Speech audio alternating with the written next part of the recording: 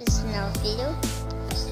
Make sure to give this a like, thumbs up, and today watching now.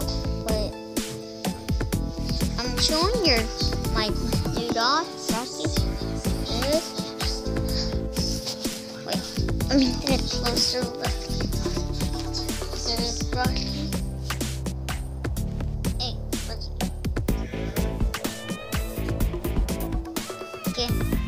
No, bye guys.